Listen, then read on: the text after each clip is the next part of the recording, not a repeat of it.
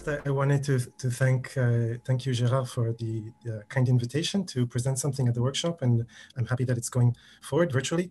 Um, I I also wanted to thank Paul Andre uh, for his nice talk just before this, because he introduced a lot of concepts that that should make this talk easier to understand. So, uh, as uh, Gerard just noted, I the the talk of the title of the talk was Untyped Linear Lambda Calculus and the Combinatorics of Three-Valent Graphs. Uh, for the specialists uh, in the audience, I just wanted to um, to point, I just wanted to make clear that when I say three-valent graph, what I really mean is three-valent map. And I'm going to spend a little bit, of give a little bit of introduction uh, to say what I mean by map. So, so I, I think that some people might be already familiar with this material, uh, but probably others aren't. And this way we're, we're all on the same page. So I'm going to give an introduction to what, what are maps, what, what do I mean when I say that, and also a little bit about the combinatorics of maps. So uh, maps are a classical object of study. Uh, they have many different equivalent definitions. One way to define them is topologically. So a map is a two-cell embedding of a graph into a surface. Uh, whenever I talk about surfaces in this talk, we're assuming that the surfaces are connected and oriented. So here's a, a picture of the, uh, the complete graph on four vertices embedded into the torus. That's the topological definition of, of a map. Um, there's also an algebraic definition where the idea is that you uh, you can assign labels to the half edges of the graph, and then you can represent everything, all the information about the graph and about its embedding up to isomorphism just by a collection of some permutations. So a map can be considered as just a, a representation, a, a, set equipped with an action of this particular group that I, I wrote there. Um, but there's also a very simple combinatorial definition of a map, which basically it's just a connected graph equipped with a cyclic ordering of the half edges around each vertex. This, these are connected graphs because we're thinking again what our surfaces are connected. And so, uh, so, so this is what this is what a map is. Um, to make that definition uh, clear, uh, so what when I talk about graphs versus maps. These are three different depictions of the same graph.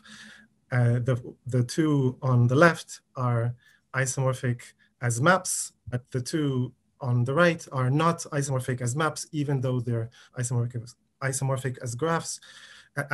And the reason is because the, um, if you look at the cyclic ordering of the half edges around each vertex, uh, to go from the one in the middle to the one on the right, we have to we we have to pass the vertex to make it cross through another edge, and that's going to change the, the cyclic ordering. So um, some special kinds of maps that I'm going to talk about. So a planar map is a map which is embedded on the sphere or on the plane. So we can consider it as a graph which is drawn on the plane. Uh, a bridgeless map, as I said, all of the graphs are connected, but a bridgeless map is, is a, one which if you remove any edge, it remains connected. And then a three-valent map is a map where the underlying graph, every vertex has degree three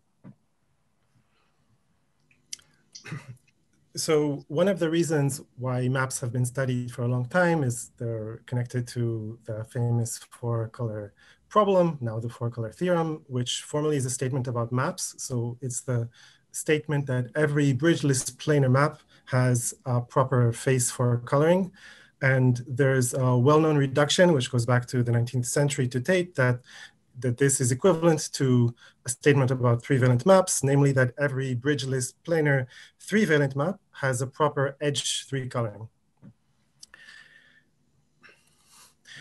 So now I want to say just a few words about map enumeration. So uh, the graph theorist Bill Tutte was the first to look at the enumeration of planar maps. And I just put a quote here, which is from his autobiography, Graph Theory as I Have Known It, where he talks about his motivation for, uh, for studying this problem, which was actually related to the four color theorem, which then was still open. and he says that it occurred to me that it might be possible to get results of interest in the theory of map colorings without actually solving the four color problem. For example, it might be possible to find the average number of colorings and vertices for planar triangulations of a given size.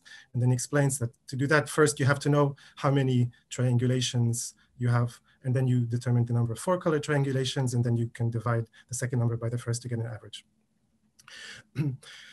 so Tutte wrote a series of papers in the 1960s uh, where he, he attacked this problem and actually managed to get a lot of results.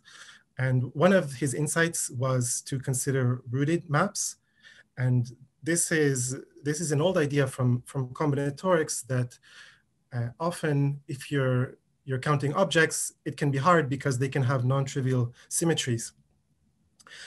and if you, you don't want to double count, so one way to do that is to, to root your objects to get rid of any symmetries.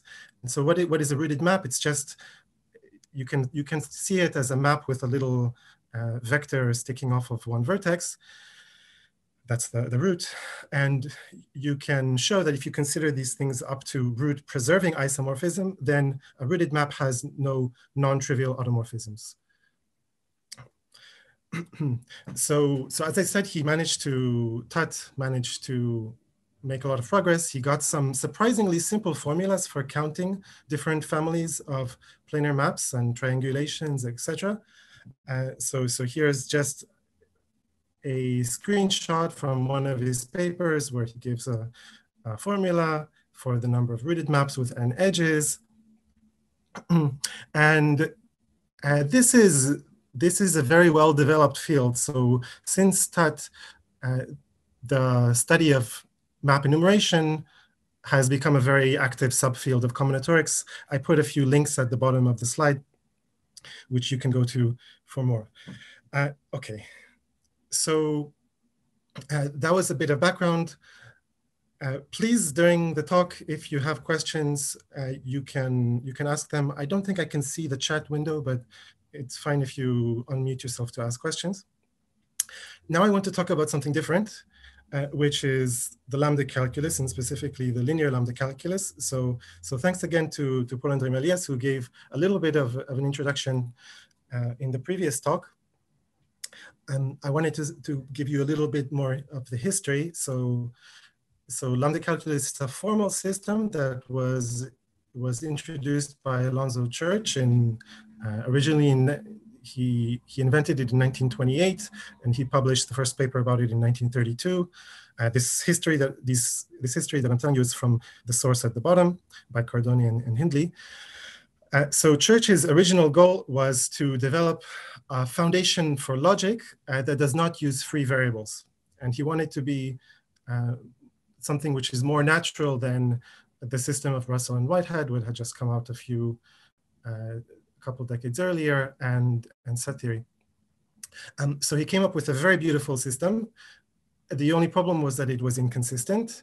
This was discovered by his students, unfortunately. Um, but, but all was not lost because Church was able to separate uh, his original system into two pieces. And he extracted one, which is nowadays called the untyped lambda calculus, which is purely about computation. And then he had another system, extracted another part, which was typed, like in uh, Russell and Whitehead's system. So a typed lambda calculus, which he used to talk about logic. And this was in the 30s and 40s. Since then, lambda calculus has become very important, especially in programming language theory and in proof theory and other areas. Now, Um, so I'm going to be talking mostly about the untyped lambda calculus. Uh, one of the nice properties of untyped lambda calculus is that you can define so-called fixed point combinators. Um, the first one was actually due to Alan Turing, who was another student of, of Church's. And so I'm not going to get into the formal definition. Uh, there is the idea uh, that lambda calculus is a, lambda calculus is a programming language based around uh, the idea that everything is a function. All terms represent functions in some sense, and a fixed point combinator in a certain formal sense, given a term that represents a function, it finds a fixed point for that term. Uh, so I just wanted to show you the actual uh, combinator itself, um, which was originally found by Turing. And you don't have to memorize it, um, but I just wanted you to see the syntax of the lambda calculus. And I wanted to point out uh, here uh, that you can see that the variables x and y appear multiple times.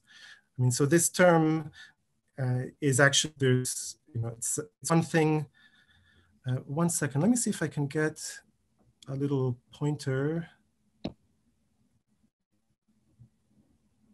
to highlight. Okay.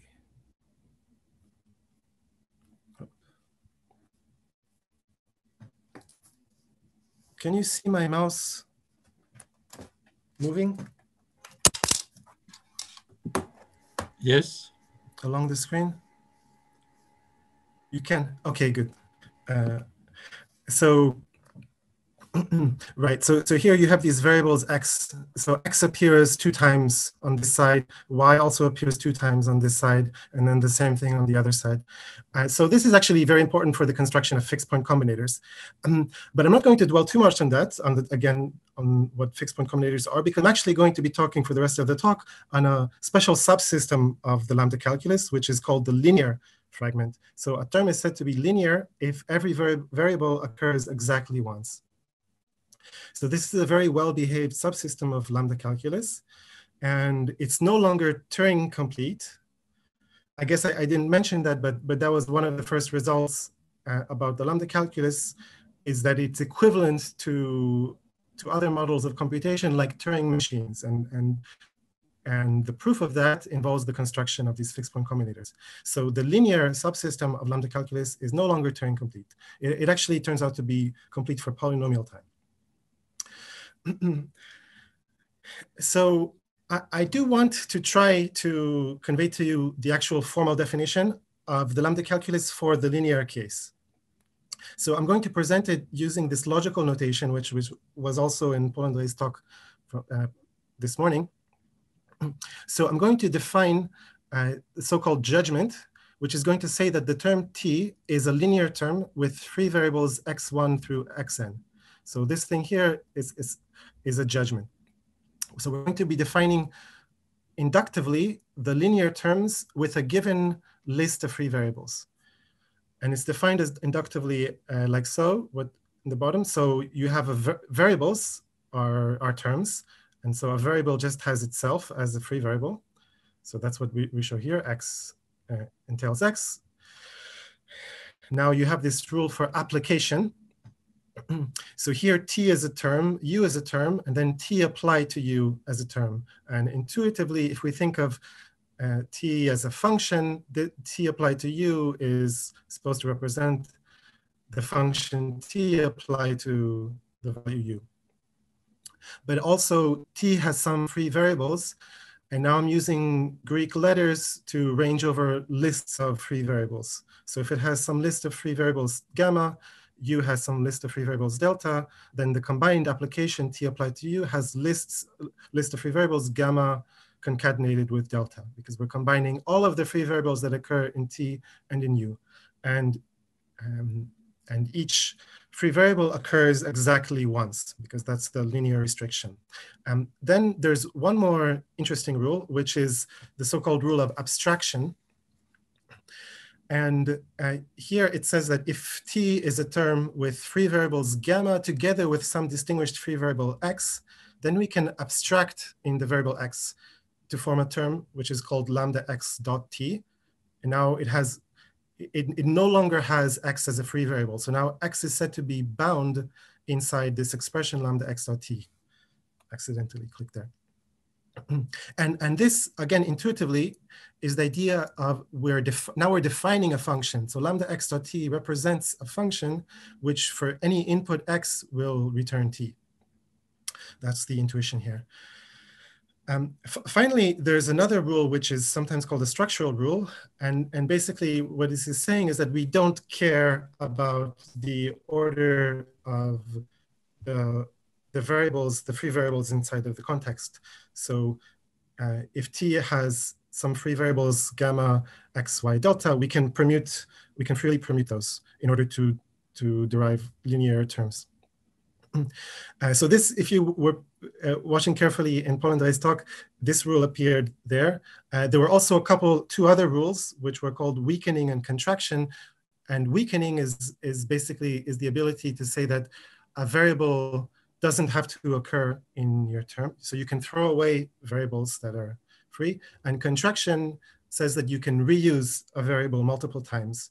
And those, those rules are present in the full uh, lambda calculus, but in the linear lambda calculus, we don't have any structural rules except for this one rule of exchange. Um, now, I, I just put some terms at the bottom to remind myself to define them. And again, feel free to interrupt me with questions. So a subterm uh, of a term is this is just a standard definition. It's it's any term that appears inside the. If you think of the term as a tree, it appears as a subtree.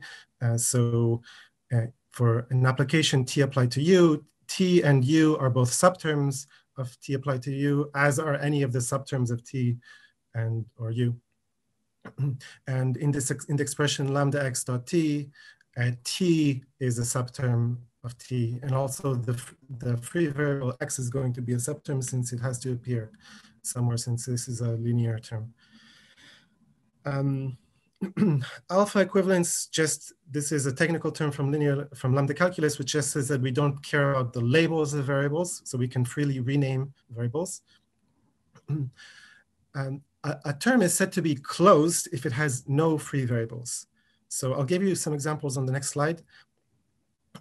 Uh, but like the, for example, lambda x dot x is a closed term since it has no free variables. It has one variable x, but that's bound by, by the lambda. And then one more thing I wanted to define. So as I said, in the linear lambda calculus, there's only one structural rule, which is called the rule of exchange.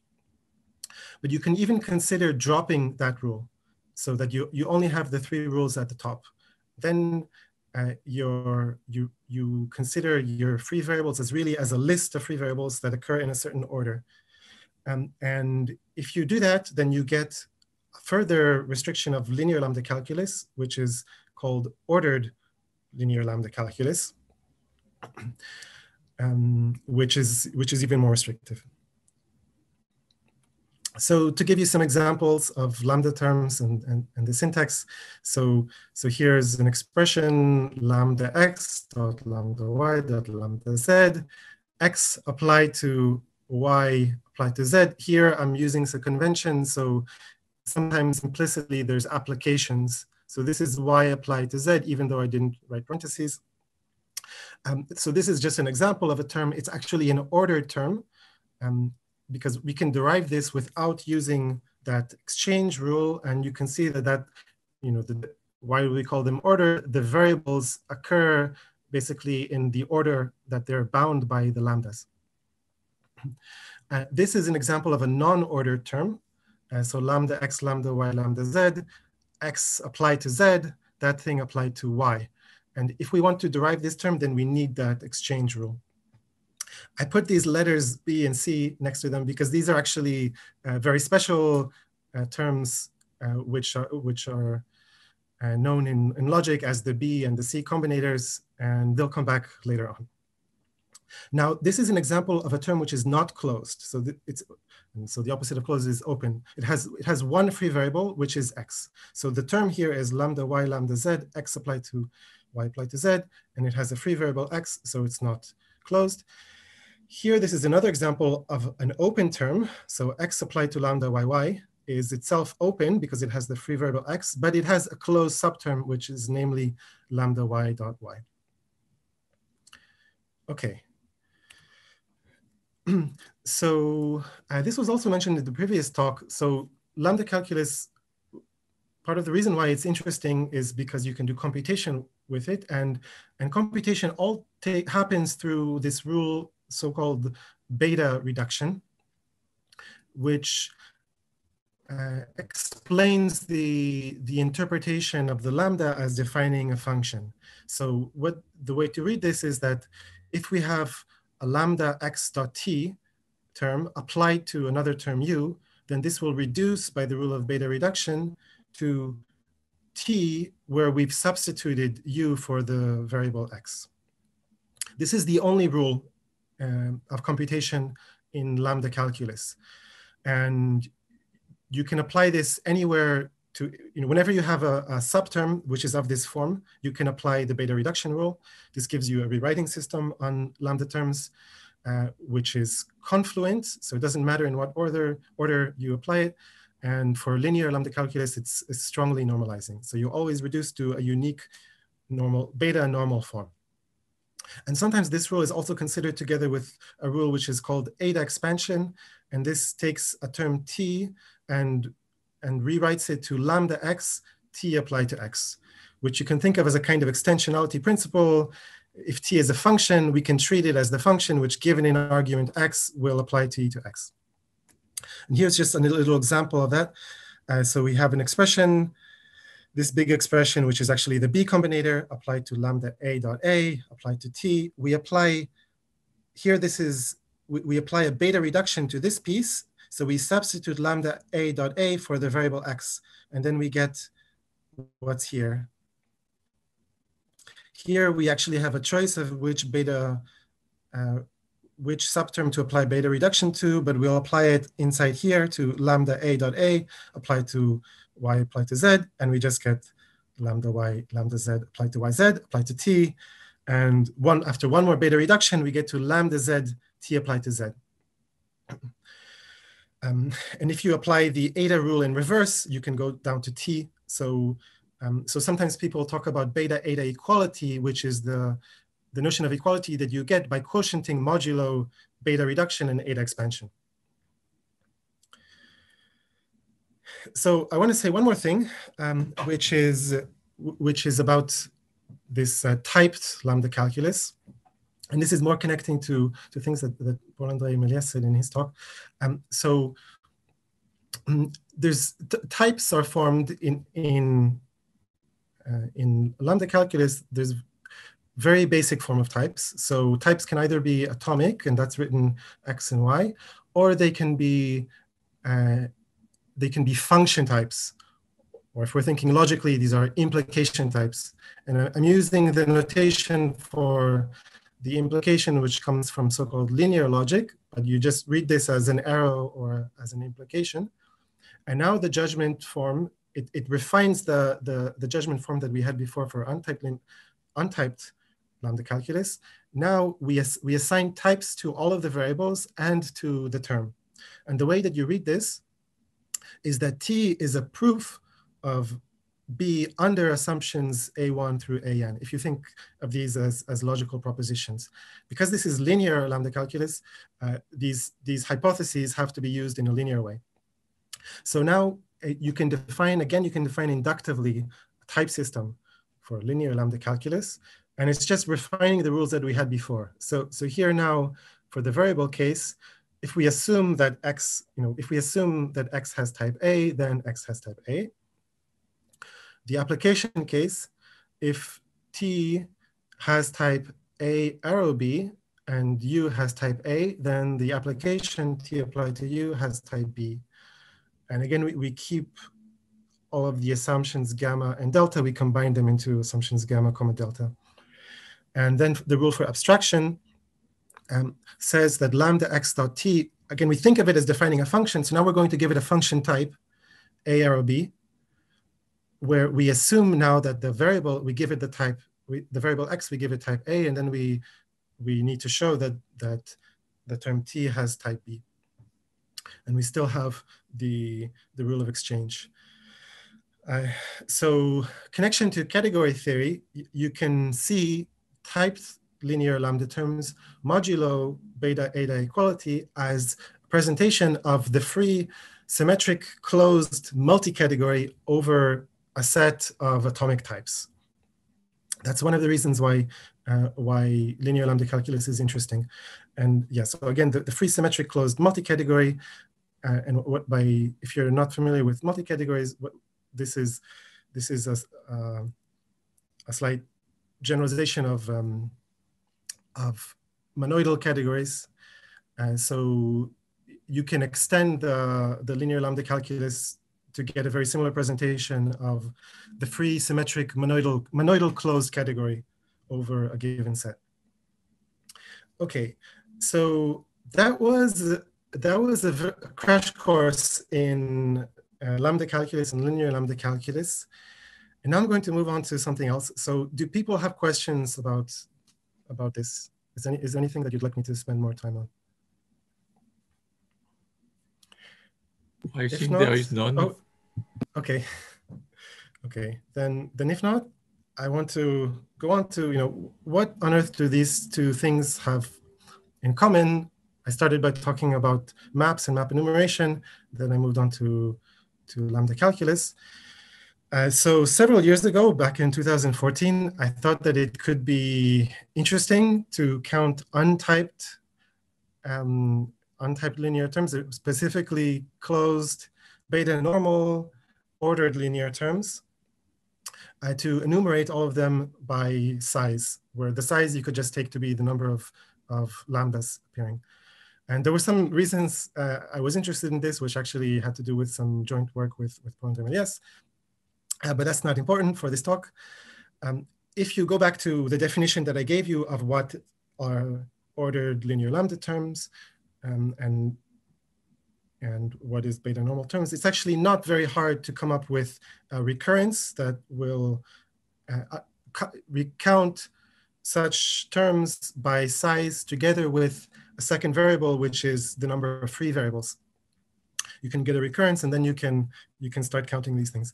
Um, it's also maybe more fun to just start listing them and, and see what sequence you get. So so at size one, you have one such term, which is this lambda at xx.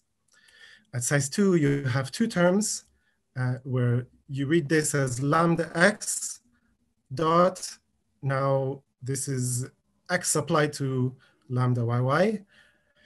And the other term is lambda x, lambda y, x applied to y. this is at size two.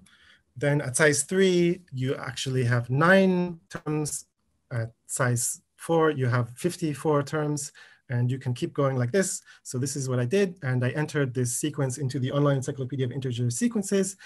And it was surprised to me that it was there um, and it was listed as uh, counting something completely different, various things, but you can see there, there's a comment from Don Knuth that says that this is the number of rooted planar maps with n edges.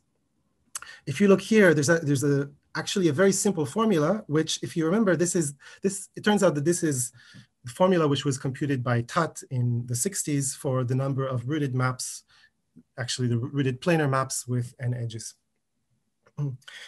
So, so that's why I was in May 2014, very surprised about why you would get this sequence counting planar maps, where I started you know, counting these objects. um, but I, I got together with Alain Giorgetti and we managed to find a bijection between this class of lambda terms and rooted planar maps. Um, I'm not going to be talking more about that bijection. Um, it's it's a little bit. It's not so. It's um, it's not so natural uh, for reasons that I don't want to get into now. Um, but but what I what I want to, to say is that it turned out that a couple of years earlier, um, another group of uh, of combinatorists, uh, French combinatorists, Olivier Bodini, Danièle Gardy, and Alice Jacquot, they had found another connection, a similar connection between general linear lambda terms uh, and three valent maps of arbitrary genus. I'm going to be talking more about this in a moment. But, but now, if you look at these two connections, which were found uh, similar times. So first there was the connection by Bodini, Gardy, and Jacquot between linear terms and three-valent maps. Then the connection that we found between uh, beta normal ordered linear terms and rooted planar maps, not necessarily three-valent. And you might think whether this is piece of a larger puzzle. And well, it turns out that, that it is, and that there's actually uh, many connections between different natural subsystems of lambda calculus, actually subsystems of linear lambda calculus, and different families of, uh, of rooted maps, both planar maps and, and maps of arbitrary genus. Uh, so as I said, I'm going to be, so, okay, I want to point out a couple of things. So, so first, all of the connections on the upper half of the table between different families of, of linear terms and different families of three-valent maps can all be explained as the restriction of a single natural bijection, which is the bijection originally found by Bodini, Gardy, and Jacquot, which I'm going to be exp explaining in a bit. The connections in the lower half of the table, uh, they're more mysterious. So, I mean, it might, it might seem a bit mysterious why in passing to beta normal terms, we suddenly go from three valent maps to general maps. And, and this thing is still, it, it is a mystery. It's still mysterious to me. Uh, we don't really have a good bijective explanation for the connections in the lower half of the table. On the other hand, uh, it's still been useful. The fact that these connections exist has been useful in finding um, connections between lambda calculus and, and some other areas uh, via their mutual connection to, to maps. I just wanted to point out one paper below, uh, which corresponds to, to the seventh entry of the table. Um, and this was actually a collaboration with, with Julien Courtiel and Karen Yeats, uh, where uh, we did some combinatorics and it had applications to uh, Karen Yeats's work in quantum field theory, and it also had connections to lambda calculus. okay, I, I see that I, I put a note for myself at the bottom uh, to explain what unitless means. So I'm not going to go through this whole table, but I just want, I did want to mention, I already defined linear, I defined ordered. Unitless here means terms with no closed subterms. We talked about that before. So that's just what, what unitless means is that they have no closed subterms. And it turns out that the unitless restriction on lambda terms corresponds to the property of being bridgeless of, of a map. Okay, so um, in the most of the rest of the time, I wanted to explain this bijection between linear lambda terms and rooted three-valent maps of arbitrary genus, which, as I said, uh, this bijection restricts to explain all of these connections in the upper half of the table. So it restricts the one between order terms and planar three-valent maps and between unitless terms and bridgeless three-valent maps. And again, this is uh, this bijection is originally from the paper by Bodini et al. And I wrote another paper a few years later where I was revisiting the bijection and, and, and explaining it from another perspective. Uh, so uh, there's actually an old idea uh, in lambda calculus, which goes back to the 70s at least, maybe maybe earlier. It's kind of folklore, which is that you can represent lambda terms as a kind of annotated graph. You can also you can think of it as a as a syntax tree, where you have two kinds of nodes that stand for the two operations of application and abstraction, where we're drawing the application with an at symbol and the abstraction with a lambda symbol. Uh, but then these trees are enriched with pointers coming from the lambda node to the corresponding occurrence of the variable that it binds. So this idea is, is especially natural for, for linear terms because you have just a unique occurrence. Every lambda has a corresponding unique occurrence of a variable. so, so if you, you know, if you see it as a tree with pointers, well, that corresponds to a kind of graph. Here I've, I've shown a picture. Uh, this is the representation of, of some, this is kind of an arbitrary term, lambda x, lambda y, x applied to lambda z, y applied to z.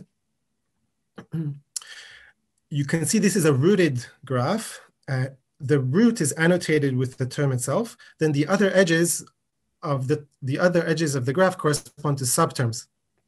So like this edge is annotated by the subterm lambda y, x, etc. This edge is annotated by the variable x, which you know you can also follow the wire to here, and you see that here we have a subterm which is annotated, you know, the edge is annotated lambda z y applied to z, and here at the output of this application node, we have x applied to lambda z y z. Okay, so so that's this idea which of just a diagrammatic representation for for lambda terms, which again is kind of folklore from the 70s. You can give some explanation for this uh, in the framework of, of string diagrams, which uh, Paul-André talked a lot about in the last talk. And this, this is related to an old idea of Dana Scott uh, for modeling the untyped lambda calculus. So I mentioned that typed lambda calculus, well, the linear typed lambda calculus has relation to symmetric closed multi-categories or uh, symmetric monoidal closed categories. And there's, there's a similar connection between typed nonlinear lambda calculus and Cartesian closed categories. Uh, but for the untyped lambda calculus, uh, a long, uh, a long-standing question was, what does it mean mathematically, not just you know in terms of formally in terms of rewriting, but is there is there a natural mathematical model uh, where you can really think of terms as functions? And the problem, kind of the paradox that Dana Scott observed was that you you need, in a sense, you need to find a type U, or you need to find a set U, which is isomorphic to the set of functions on U, the set of functions from U to U. And you, you can't do that in set theory for cardinality reasons, but but you can do it with other models, uh, more more refined models. So Dana Scott came up with the first uh, first models, and, and later he gave uh, an axiomatic um, explanation for that as this idea of a reflexive object in a Cartesian closed category. So an object U in a Cartesian closed category such that it's equipped with an isomorphism or maybe some retraction uh, to uh, the space u to the u. And you can do the same thing now where instead of Cartesian closed categories, you have symmetric monoidal closed categories. Um, and so then you have these two operations, which now I'm writing as at and lambda suggestively because they, they correspond to the two operations of application and abstraction.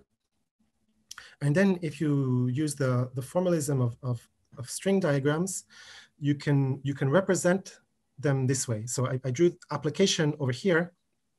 It has one incoming wire uh, at the top. I'm reading the diagrams from top to bottom, and that corresponds to the type U. And then at the bottom, um, it has two wires. One is an incoming wire, one is an outgoing wire. And you can think of this as uh, U arrow U.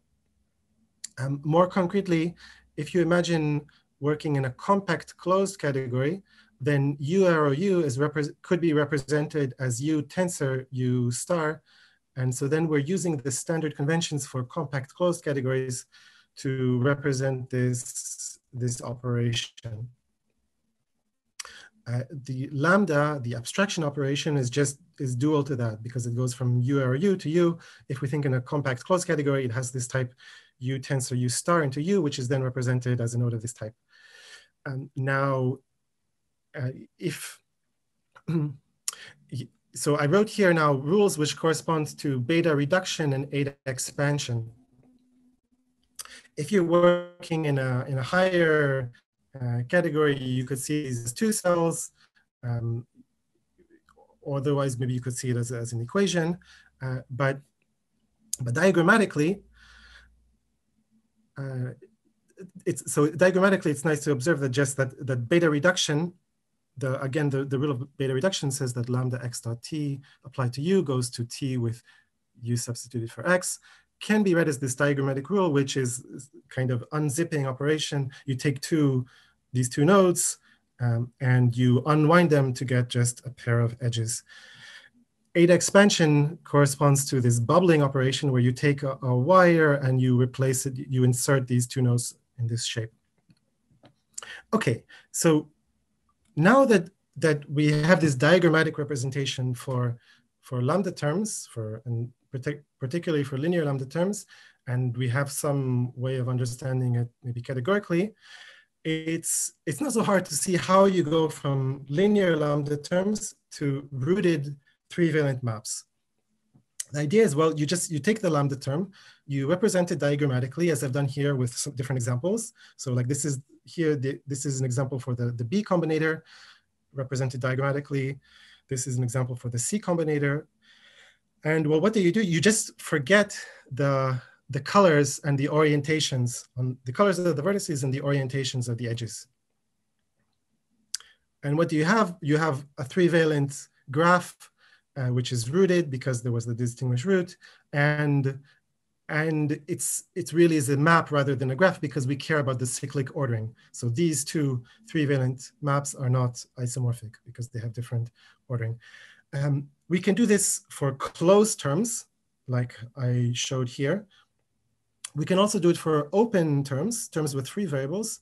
But in that case, uh, so diagrammatically, you can think of the free variables as wires. So on it's like inputs coming from the boundary, which are then flowing through the term and then going out into the root. And if we forget, uh, if, if, if, we again we apply this forgetful transformation, then we get now a three-valent map, but now it's on a, it's a rooted three-valent map, but now on a surface with boundary with some edges attached to the boundary. Uh, so, so I hope that's pretty clear how you go from the linear term to a rooted three-valent map. What might not be clear is how do we go, how do we go backwards? Um, how do we go from a three-valent map to a linear lambda term? Because what the existence of this bijection is saying is that in a sense, this transformation is invertible. So given a rooted three-valent map, there's a unique linear lambda term that uh, maps down when you forget about the the colors, when you forget about the distinguish between application and lambda and about the orientations of the wires, it maps down to that three-valent map. So, um, so here's an explanation for that.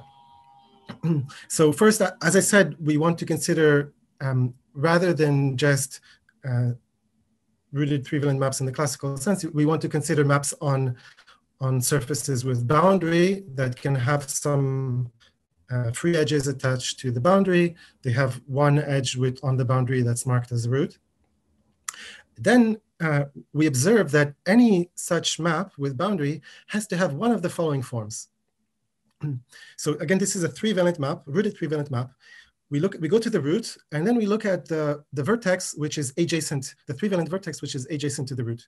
So here I've gone to the root and then to the three-valent vertex, and I ask what happens when you remove the, that vertex. In this case, the map is split into two pieces that I'm calling T1 and T2. That's one possibility is when we remove the vertex adjacent to the root, it splits into two pieces. Another possibility is it, it stays connected. And in that case, so if it stays connected, we can reroute T1 canonically just by going to uh, going down the left here I can reroute uh, T1, put the, move the root over here, and then put this edge, make it now be attached to the boundary. So there are these two possibilities. We, the, the vertex adjacent to the root is either uh, disconnecting or, or not connect or connecting. Um, or really there's a third possibility, which was actually there was no three-valent vertex. This is kind of the degenerate three-valent map, which just has one edge, which is, you know, which is attached to the boundary, both at the root and on the other side. But now if you look at this, uh, this characterization of rooted three-valent maps of arbitrary genus, well, this is exactly like the, the inductive definition that I showed you for linear lambda terms. These three cases of application, abstraction, and, and the variable case. And um, Right. So so once uh, so so that's the basic idea of the the correspondence between between rooted three-valent maps and linear lambda terms. At least this is one way of understanding the bijection. And I'll just give you a little example to illustrate that. So here, this is a, a rooted three-valent map, the, the Petersen, uh, you know, rooted embedding of the Petersen graph. And you know, I claim that it corresponds to a unique linear lambda term. How do we compute it? Well, we go to the root, we look at the vertex adjacent to it, we ask what happens when we remove it. In this case, it's connecting. Therefore, um, this corresponds to a lambda. And uh, if you remember, I'm drawing the, the lambda nodes or the abstraction nodes with in red. and then we continue, we go down the left side and we place the root here. We move the other edge, we move it onto the boundary and we do the same thing. So now we look at this vertex and when we remove it, it's connecting. So this corresponds to a lambda. We continue and we, we keep going along. Um, we, we, keep going and you can see that all of these nodes are going to be uh, connecting nodes. So they're going to correspond to lambdas until we get to this point where now you can see that we have two edges here. And when we remove this vertex, it's actually going to split into two pieces. I mean, there's this little piece, which is a trivial piece here, and then there's the rest of the graph here. So this is going to correspond now to an application node rather than to an abstraction node, and we call it in, in blue. And then we can continue, etc. And we, we, we traverse the whole graph and finally, so finally we have the diagram of the term, which corresponds, you know, this is now the term in traditional syntax. So that's the linear term corresponding to this embedding of the Petersen graph. So uh, I think I'm pretty good in time. I, I wanted to say just a couple more things. So, so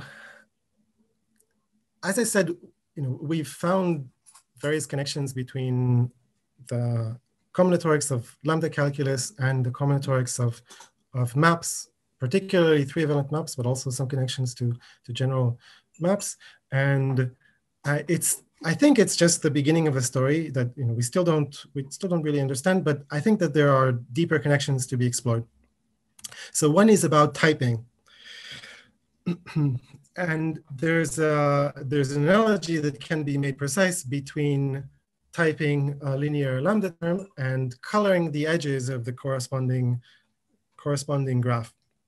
So here I've recalled the typing rules that I showed earlier for linear lambda calculus.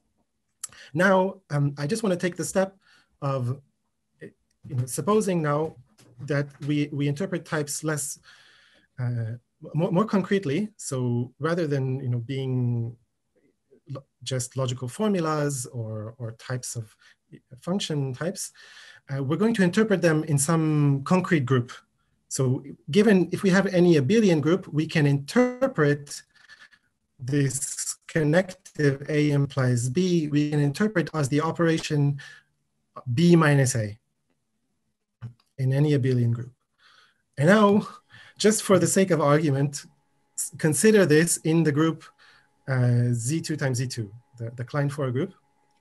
And now I claim that if you take any ordered linear lambda term, uh, you can type it in this type system, where now you're drawing the types from this group, the Klein 4 group, under this interpretation of implication. Uh, you can you can type it uh, su such a, in such a way that any subterm u of t, it will only be colored in, it will be given the, the zero type of the group just in case u is closed, that is u has no free variables. So you know, the other way, if u has a free variable, then it will be given a non-zero, a, a non-zero type, a non-zero element of the Klein 4 group. Uh, so now I give you a challenge problem is to find a direct proof of this claim.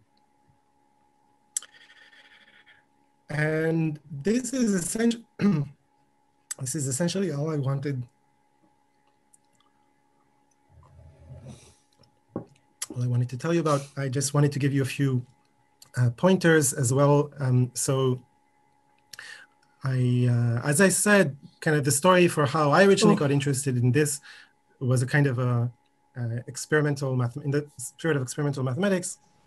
It's something I like about this is that it's it's easy to uh, to play with these lambda terms and, and generate them. And so I just gave some links here, which uh, since the slides will be available, you, there's also you can click on the links um, so this tool, the Lambda Term Visualizer in Gallery, will let you put a lambda term and then get the corresponding rooted three-valent map that corresponds to it.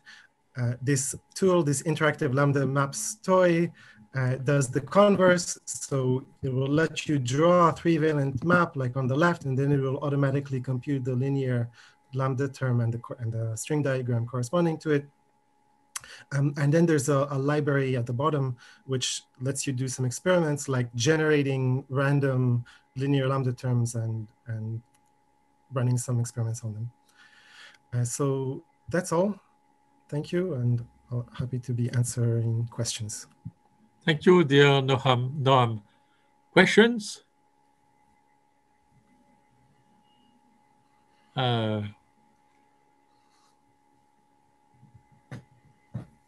remarks or comments? From, yes. Uh, did did Karol uh, raise his hand? Uh, he's speaking, but he is muted. Ah. Uh, can I I would like to make a small comment. Do yes. you hear me? Yes. Gerard, do you hear me? Yes, yes, uh, I hear you perfectly. So, yes. Okay, so I would like to uh, come to the first part of your talk where you uh, quoted some enumeration formulas uh, derived by mm, derived by Tate, and uh, uh, there are of course some other papers which are related with this chapter. Yes, exactly, this kind of formulas.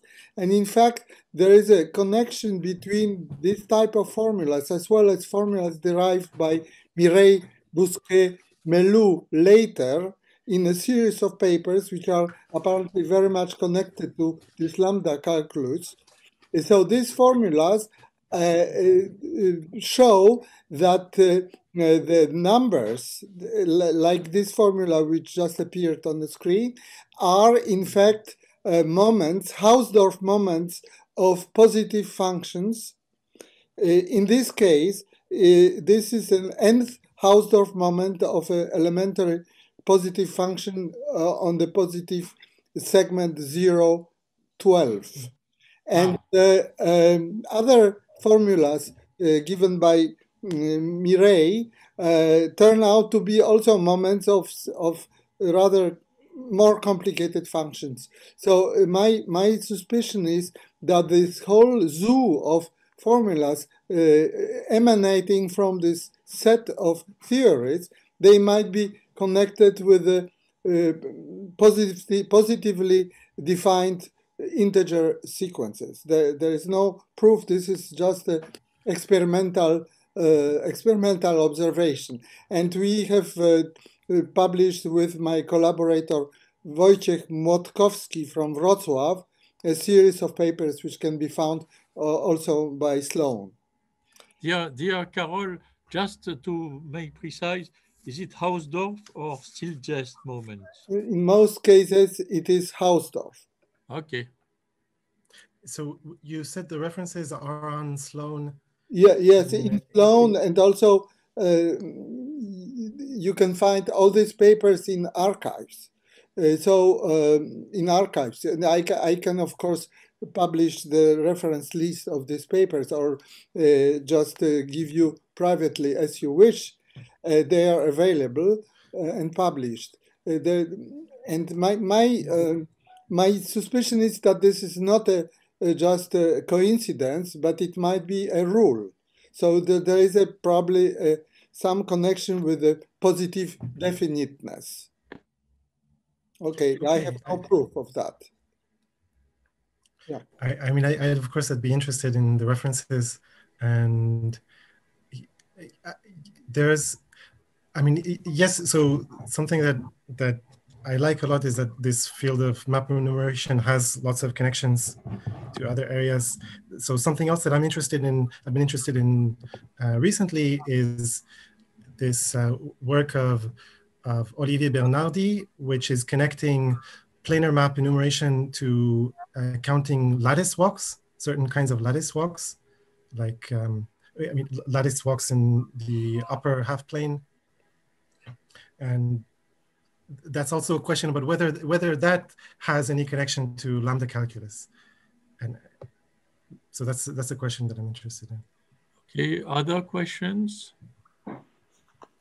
uh, or comments? So thank you so much, dear Noam.